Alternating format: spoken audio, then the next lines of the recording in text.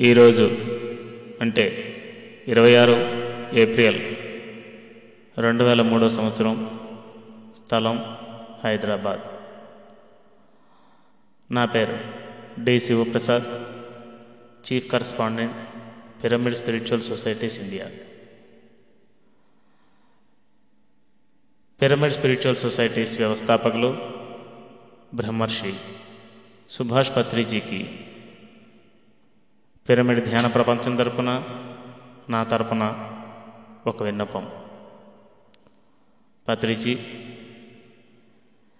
Pyramid మాస్టర్ల అందరి పరమ ఆదర్శమూర్తి అయిన శ్రీ గౌతమ బుద్ధుడి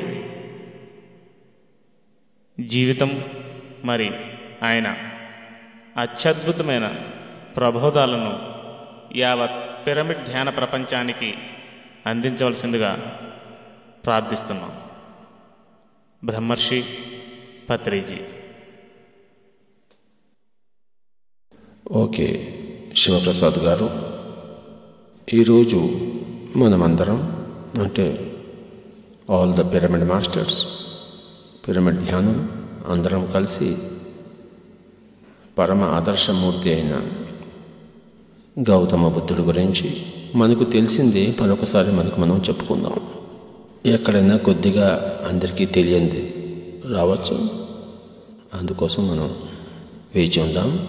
పిరమిడ్ స్పిరిచువల్ సొసైటీస్ అన్నది చాలామంది ఇది మీరు బుద్ధ సాంప్రదాయమా అండి? అని అడుగుతుంటారు. బుద్ధ సాంప్రదాయం అంటే వాళ్ళకి తెలిసిన వాళ్ళకి మనసులో ఉన్న బుద్ధ సాంప్రదాయం ఒకటి నిజమైన బుద్ధ సాంప్రదాయం యాక్చువల్లీ మరొకటి. కనుక వారికి తెలిసిన బుద్ధ సాంప్రదాయమా ఇది అంటే అది ఎంత మాత్రమో కాదు. నిజమైన బుద్ధ సంప్రదాయం అంటే absolutely so my dear friends my dear masters and my dear gods బుద్ధుడి గురించి తెలియని వాళ్ళందరూ బుద్ధుడి గురించి తెలిసినట్టు మాట్లాడారు మాట్లాడుతున్నారు. ఈరోజు మనం గౌతమ బుద్ధుడు గురించి. అందరికీ తెలిసినది అందరికీ తెలియంది రెండు మనం చక్కగా తెలుసుకుందాం.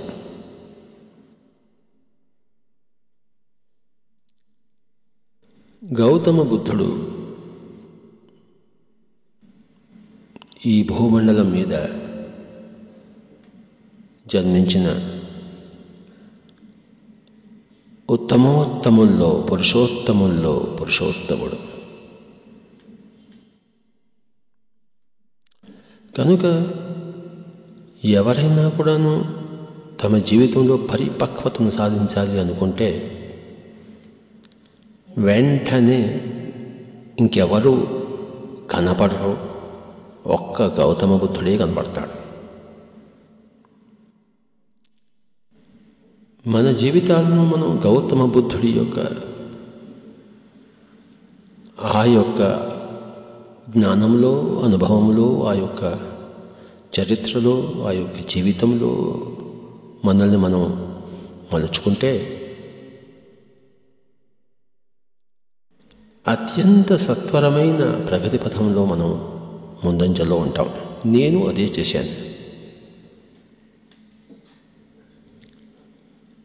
చిన్నప్పటి నుంచి కూడాను గౌతమ బుద్ధుడు అంటే అపరిమితమైన ప్రేమ.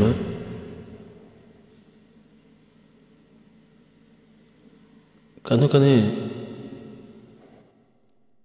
భారతదేశంలో కానీ ప్రపంచం మొత్తంలో కానీ గౌతమ బుద్ధుడు అంటే మరి జీసస్ క్రైస్ట్ అంటే వీరిద్దరూ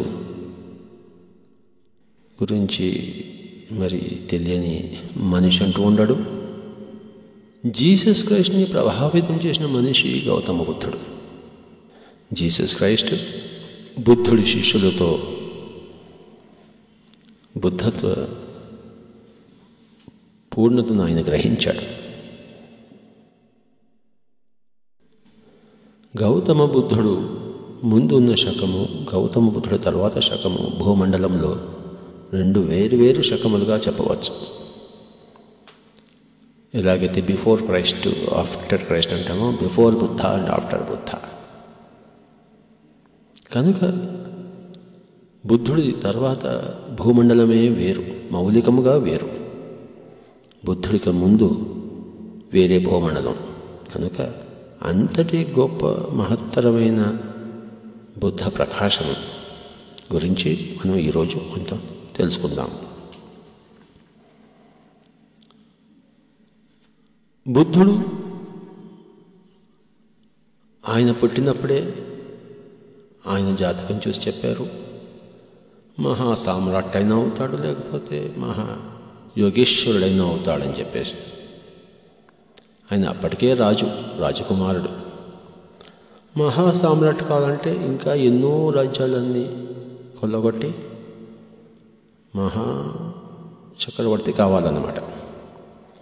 మామూలుగా ప్రతి రాజుకి ఉండే కోరికే అది. చిన్న రాజ్యం నుంచి పెద్ద రాజ్యము పెద్ద రాజ్యం నుంచి భూమండలం అంతా కూడాను తాను ఏకైక రాజు కావాలని చెప్పేసి. అలెగ్జాండర్ చక్రవర్తి అందుకే కదా అందరినీ చంపి నరికి చక్రవర్తి అలెగ్జాండర్ చక్రవర్తి అని పేరు తెచ్చుకోవడం కోసం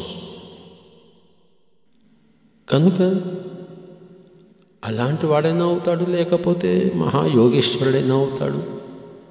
నిజానికి యోగేశ్వరుడే అవుతాడు అని చెప్పేసి వాళ్ళు జాతకం చెప్పారు. బుద్ధుడు పుట్టకముందే ఆయన చూడడానికి అసీత మహర్షి ఆ వార్త తీసుకుని శుద్ధోదరం దగ్గరికి వచ్చాడు. ఏడుస్తూ ఉన్నాడు. నేను అతన్ని చూడలేనే.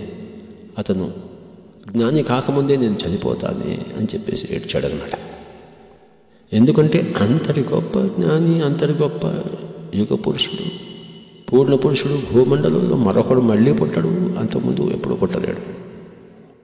కనుక ఆ యొక్క అత్యద్భుతమైన సంఘటన నేను చూడలేను అని చెప్పేసి ఆ అసీత మహర్షి ఆ శుద్ధోదనుడి దగ్గర భోరున ఇడ్చాడు అంతే అదేవిధంగా మరి గౌతమ బుద్ధుడు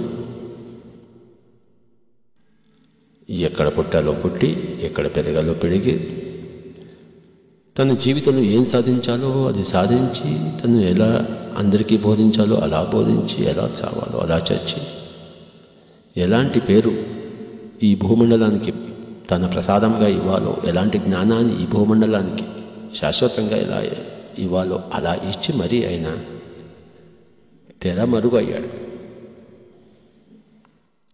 బుద్ధుడిని అల్లారు ముద్దుగా పూలలో పెంచారు తల్లిదండ్రులు. ఆయన సకల కళలలోనూ సకల విద్యల్లోనూ ఆరితేరి అందరికీ ముచ్చటగా సరి అయిన మరి వివాహం చేసుకుని అంతా బాగానే ఉంది పైకి. కానీ లోపల మటుకు ఏదో వెలితి ఏదో తను చేయడం కోసం వచ్చాడు ఏదో పొందడానికి వచ్చాడు. అది ఇంకా మొదలు కాలేదే ఏమిటో సంగతి అని చెప్పేసి ఆయన ఎప్పుడు గొంబలంగా తనలో తాను ఉండేవాడు. కనుక ఎక్కువగా మాట్లాడేవాడు కాదు ముక్తసరిగా మాట్లాడేవాడు. అయితే పర్ఫెక్ట్గా మాట్లాడేవాడు కానీ ముక్తసరిగా మాట్లాడేవాడు. అందరితో చక్కగా ఉండేవాడు కానీ ఏదో లోపల ఉంది అని చెప్పేసి ఆయనతో ఉండేవాళ్ళకి ఆయనకి అందరికీ లోపలగా తెలుసు. కానీ బయటంతా పర్ఫెక్ట్గా ఉంది. అన్ని పనులు చక్కగా చేస్తున్నాడు అన్నీ అర్థం చేసుకుంటున్నాడు ఎవ్రీథింగ్ ఈజ్ ఓకే. మరి ఒక ఆనొక రోజు ప్రత్యేకంగా మరి బయటికి వెళ్ళినప్పుడు ఎక్కువగా బయటికి వెళ్ళడు ప్రత్యేకంగా బయటికి వెళ్ళినప్పుడు చూడ మామూలుగా కంటపడనివి. కంటపడినప్పుడు ఆయన తండ్రి ఎంతో జాగ్రత్త తీసుకునేవాడు. ఇంట్లో ఆయన పరిచారకులకు ఎవరికైనా కొంచెం తెల్ల జుట్టు వచ్చినా తెల్ల జుట్టు వాడిని ట్రాన్స్ఫర్ చేసేసి నల్ల జుట్టు వాడిని అందంగా ఉండేవాడనే పెట్టేవాడు ఎప్పుడు. ఈ విధంగా ఎన్నో ఆయన మరి జాగ్రత్తలు తీసుకున్నాడు. ఇంత మాత్రం వైరాగ్యం అనేది రాకుండా అతి సర్వత్ర వర్జేయదు కదా. ఎక్కువ శ్రద్ధ తీసుకుంటే దానికి విపరీతంగా అయ్యే తీరుతుంది.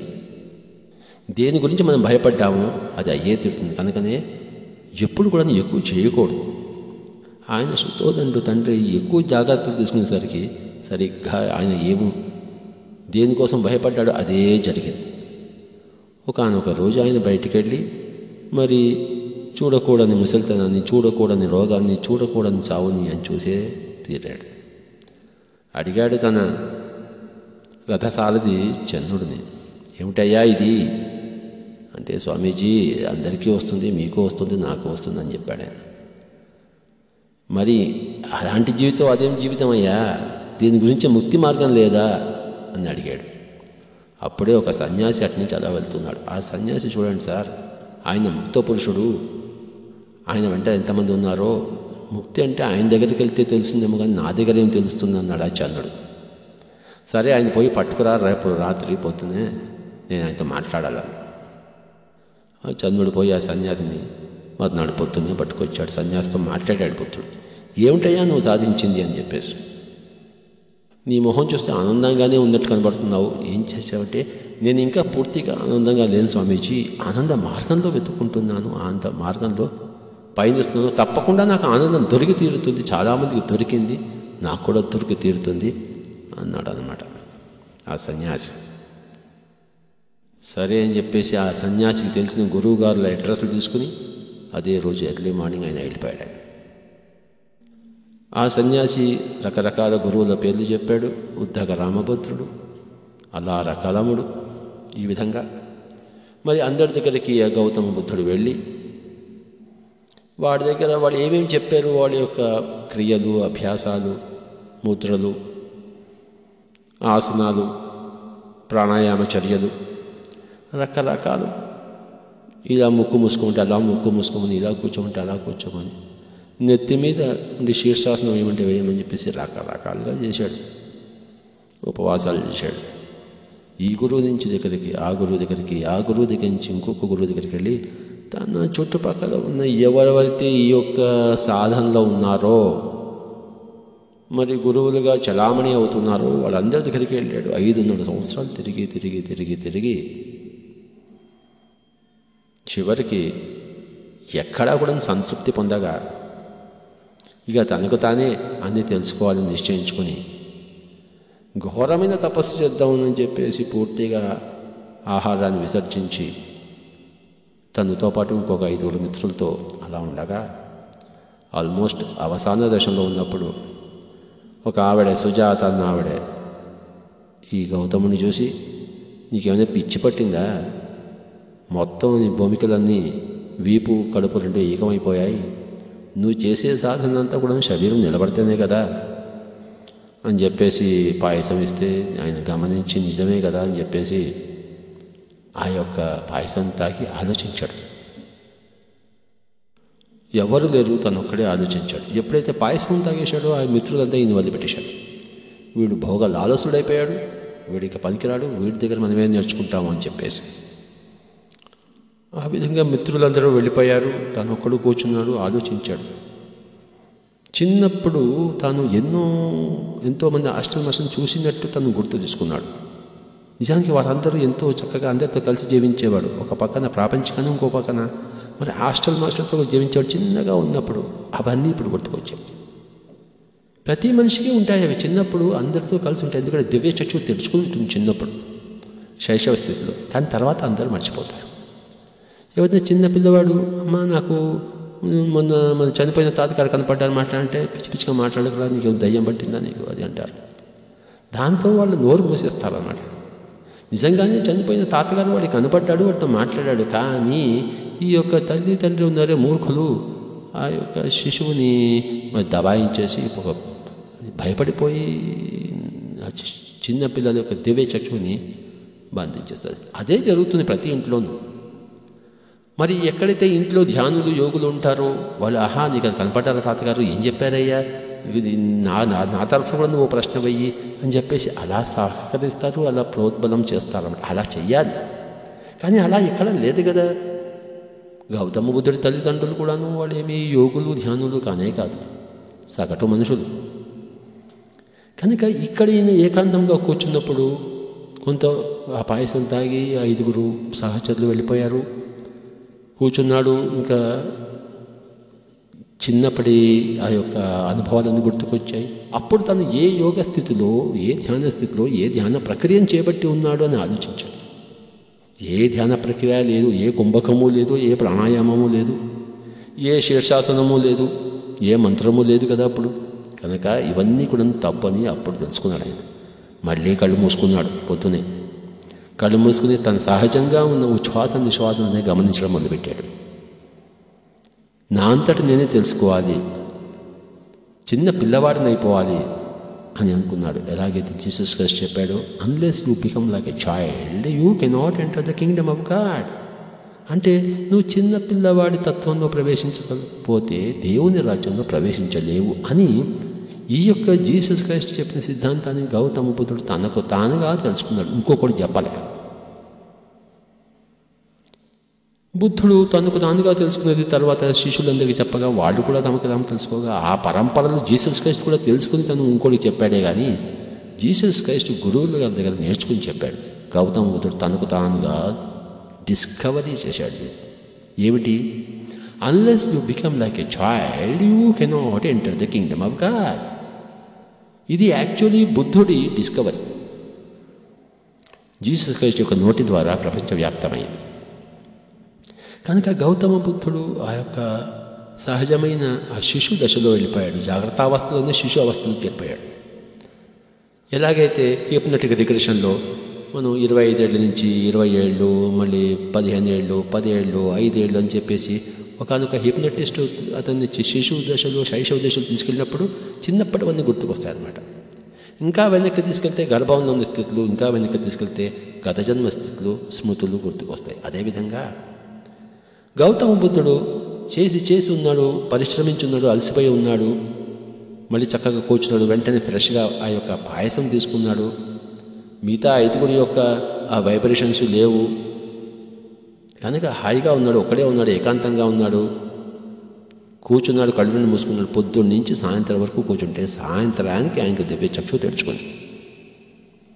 రాత్రి అంటే మూడు జాములు ఉంటాయి రెండున్నర గంటలు అని చెప్పేసి ఒక జాము అని చెప్తారనమాట ఈ మూడు జాముల్లో ఆయనకి సంపూర్ణమైన పరిజ్ఞానం లభించింది. మొట్టమొదటి జాములోనే ఆయన దివ్య చక్షువు తెలుసుకొని తన గత జన్మలన్నీ ఒక దాని తర్వాత ఒక ఒక దాని తర్వాత ఒకటి చూడటం ఆయన యొక్క మై మూడవ కొన్ని యొక్క స్క్రీన్ ముందర ఆయన కనపడటం మొదలుపెట్టింది. అన్నీ చూశాడు. ఒకసారి ఆడగా ఒకసారి మగగా ఒకసారి నల్లగా ఒకసారి తెల్లగా ఒకసారి ఎర్రగా రకరకాల చర్మాలతో రకరకాల దేహాలతో రకరకాల రూపురేఖలతో రకరకాల లింగ భేదంతో ఆయన తనను తాను ఎన్నో జన్మలు పుట్టడం పుట్టడం పెరగడం మళ్ళీ చావడం మళ్ళీ పుట్టడం మళ్ళీ పెరగడం మళ్ళీ చావడం చూసుకున్నాడు. అది అంతా ఒక జామ అయిపోయింది. ఒక జామ అంటే రెండున్నర గంటలు. రెండో జామ వచ్చేసరికి ప్రతి జన్మలోనూ ఏ కార్యక్రమం చేశాడు దాని ఫలం ఎలా ఉంది? ఆ జన్మలోనూ మరి నెక్స్ట్ జన్మలోనూ. అంటే ఏదో చెడు పని చేస్తే దాని ఫలితం ఎలా ఉండింది? మంచి పని చేస్తే దాని ఫలం ఎలా ఉండింది? అని మరొక జామంతా చక్కగా దివ్యచక్షులో చూసుకున్నాడు. మూడవ జాములో మరి ఈ యొక్క ఈ దుఃఖం పోవడానికి ఏం చేయాలి? అష్టాంగ మార్గం సరి అయిన దృక్పథములు సరి అయిన కోరికలు సరి అయిన కర్మలు సరైన వాక్కులు సరైన జీవనోపాయము సరైన శ్రద్ధ సరి అయిన కాన్సన్ట్రేషను సరి అయిన ధ్యానము ఇవన్నీ అష్టాంగ మార్గం ఉందే? అదంతా చక్కగా తెలుసుకున్నాడు మూడవ జాములో. తెలుసుకుని మూడు జాములు అయిపోయిన తర్వాత మళ్ళీ తెల్ల తెల్ల వాడుతుండగా కాళ్ళు తెరిచాడు అప్పుడు. అంటే ఒక్క రాత్రిలో ఆయన సమస్త జ్ఞానాన్ని సంపాదించేశాడు. అంటే దాని వెనకాల ఒక్క రాత్రి వెనకాతల ఐదున్నర సంవత్సరాల ఈ జన్మలోని తపన మరి గత జన్మల్లోనే ఎన్నో జన్మల కింద అరిహంత ఈ బోధిసత్వుడ ఈ జన్మలో భూతత్వ పదికి మరి ఏతించిన వాడు అంత ఉంది కనుకనే ఒక రాత్రిలో మొత్తం అంతా తెలుసుకున్నాడు. తాను ఎన్నో జన్మల కిందటే అరిహంతునని అంటే ధ్యానం చేసి తనను తాను తెలుసుకున్నవాడు తనలో ఉన్న శత్రువులు అందరినీ చంపేసినవాడు తమో గుణాన్ని చంపేసినవాడు రజో గుణాన్ని చంపే చంపేసినవాడు సాత్విక గుణాన్ని కూడా చంపేసినవాడు అని తెలుసుకున్నాడు. అరిహంత్ అంటే అది. తర్వాత బోధిసత్వుడు అంటే తనకు దగ్గరకు వచ్చిన వాళ్ళందరికీ కూడా బోధన చేసేవాడు ఎన్నో జన్మల్లో. పని కట్టుకుని వెళ్ళ వెళ్ళకపోయినా తన దగ్గరకు వచ్చిన వాళ్ళందరికీ ధ్యానబోధ జ్ఞానబోధ చేసే వాళ్ళని బోధిసత్వుడు అంటారు కనుక ఎన్నో జన్మలో బోధిసత్వుడుగానే తాను ఉన్నారని ఈ జన్మలో మటుకు ప్రపంచమంతా తిరిగి అందరికీ వారి ఇంటి దగ్గర పోయి ధ్యానంని ఈ యొక్క జ్ఞానాన్ని ఈ యొక్క దుఃఖ నివారణ విధానాన్ని ఆయన అందరికీ చెప్పడం కోసం నేను ఈ జన్మలో పుట్టానని తన జన్మ కారణాన్ని తెలుసుకున్నాడు ఆయన. కనుక ఈ దుఃఖము దుఃఖం యొక్క కారణము